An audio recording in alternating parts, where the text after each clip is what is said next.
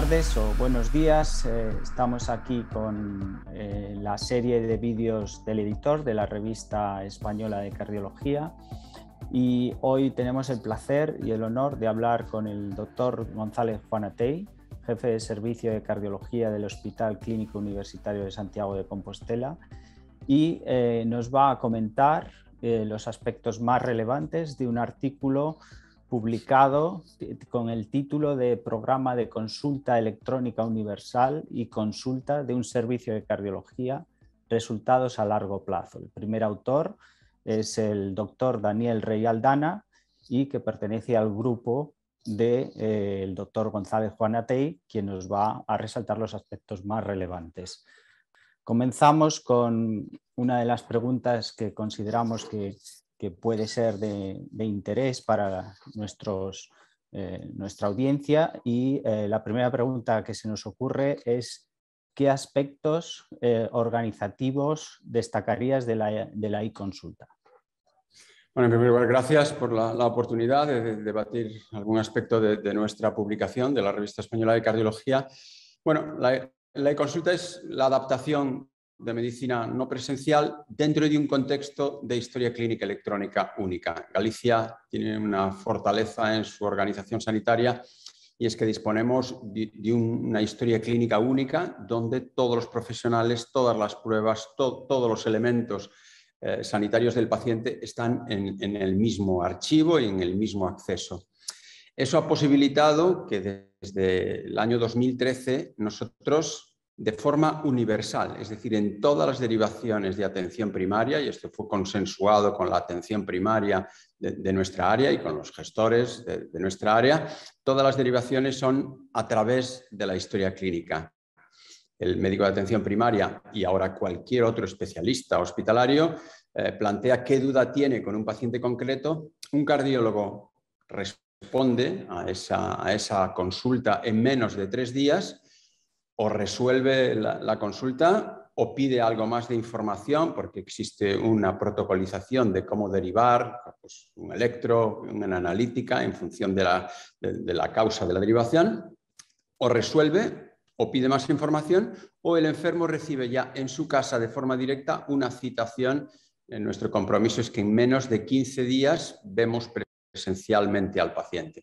En este momento estamos resolviendo las consultas en dos días de, media y la, primera consulta, que es siempre acto único, el cardiólogo que ve al paciente hace las pruebas esa misma mañana, sería en seis días. Por tanto, el, aspecto, hay varios aspectos. Uno, disponer de la herramienta historia clínica electrónica integrada, yo creo que esto es, muy importante. Luego, llegar a un acuerdo entre todos los profesionales y los gestores de que esta es la única forma de remitir pacientes a un servicio, como en este caso el de cardiología, salvo casos urgentes o alguna excepción, pero este es, universal, la única forma de derivación. Y luego, claro, que cardiología responda eh, en los plazos. Aquí la clave es responder en plazos, menos de tres días la respuesta, y si tenemos que ver al paciente, verlo en menos de 15 días. Eh, y por tanto, eh, esas serían las características fundamentales de nuestro programa de e-consulta o de, consulta electrónica. Bien, derivado de esto que, nos acabas de explicar, pues surge una pregunta lógica, ¿no? Si, influye la e-consulta en la accesibilidad a la atención sanitaria, ¿no?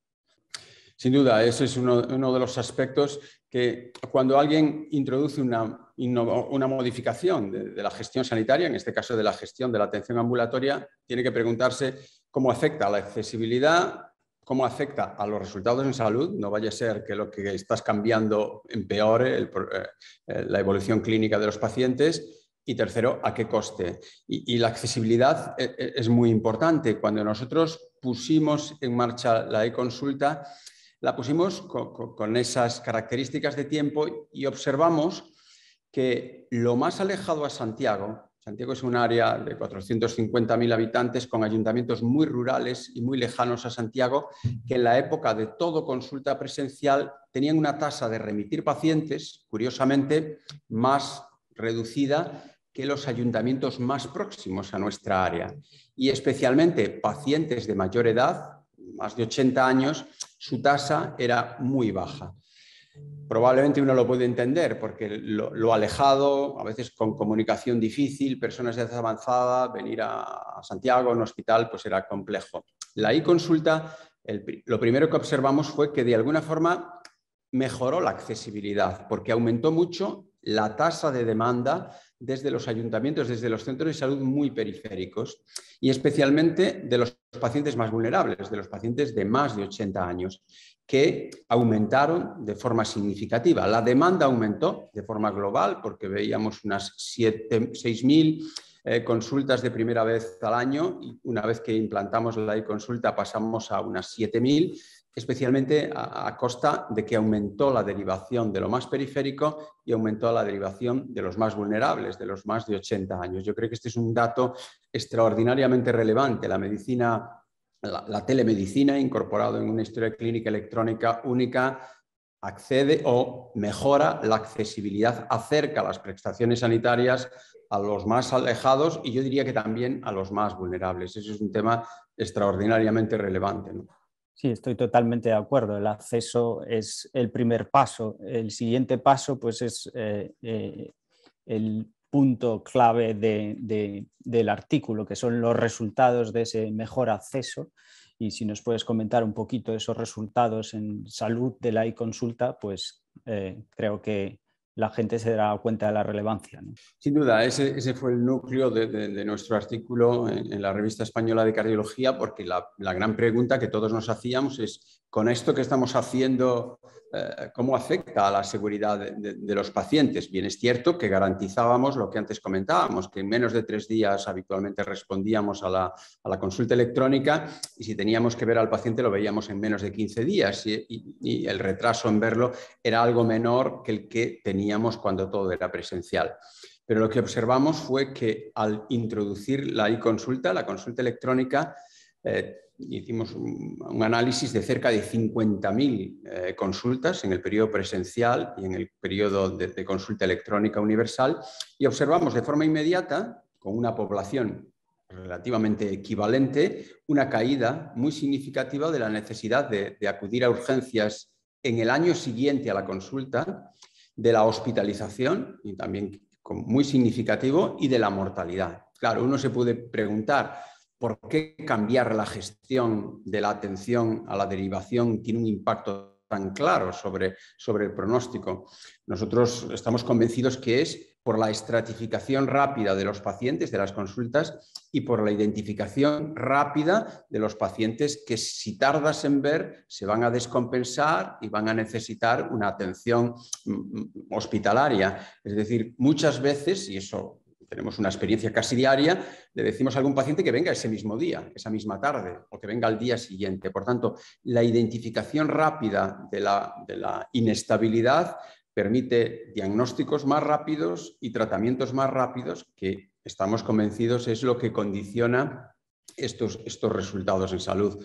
Por tanto, un aspecto clave es la organización, pero un aspecto clave es responder a tiempo eh, responder por profesionales comprometidos, también es cierto, con el programa y que de alguna forma permitan identificar de forma rápida la inestabilidad y atender de forma rápida la inestabilidad. Yo creo que este artículo de, la red, que fue el, primer gran artículo de, esto, de cómo impacta en resultados en salud, pues ha dado mucha fuerza a este, a este modelo de atención y a nosotros nos ha estimulado mucho para seguir muy comprometidos con este modelo de atención a, las consultas que otros profesionales hacen a un servicio de cardiología.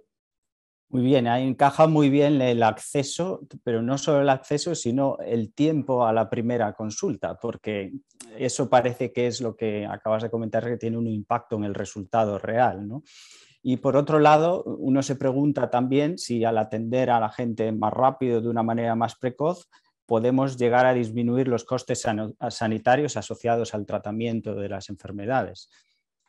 Claro, y como dices, yo creo que ese aspecto de la rápida, claro, si tú pones una consulta y respondes al mes, aquí hay algunas áreas que han puesto también e-consulta, pero responden al mes. Claro, eso no, eso no es una e-consulta. Es decir, una e-consulta es una consulta y en cardiología especialmente que tiene que ser respondida en un periodo breve y además si se da el caso de que es universal, porque si fuese para algunos, pero siendo universal tiene que ser rápido. ¿no?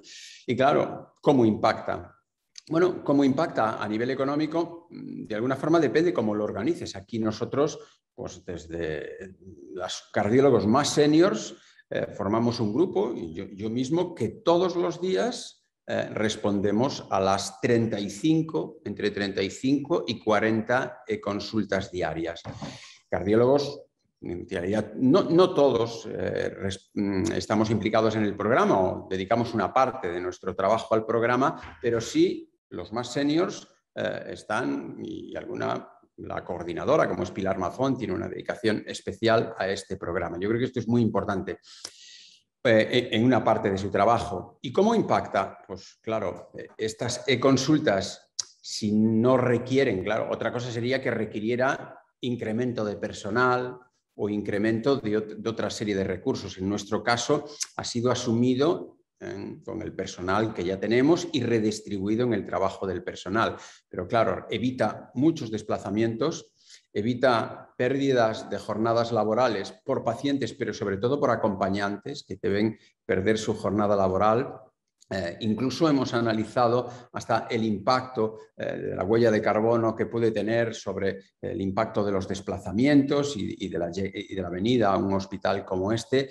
Y decimos que una e-consulta en coste frente a una consulta presencial es menos de la mitad del coste. También hemos hecho este análisis próximamente, yo creo que hoy mismo está online en una revista de, de farmacoeconomía, cómo impacta en los costes sanitarios. Es, reduce de forma significativa los costes a la atención sanitaria, además teniendo en cuenta que en este momento estamos resolviendo sobre un 35% de las derivaciones se resuelven sin necesidad de desplazamiento de los pacientes y yo creo que eso impacta muy favorablemente, como lo que antes hablábamos de la accesibilidad. Es muy seguro, no solo que sea seguro, sino que mejora los resultados en salud y es muy coste efectivo para los sistemas sanitarios.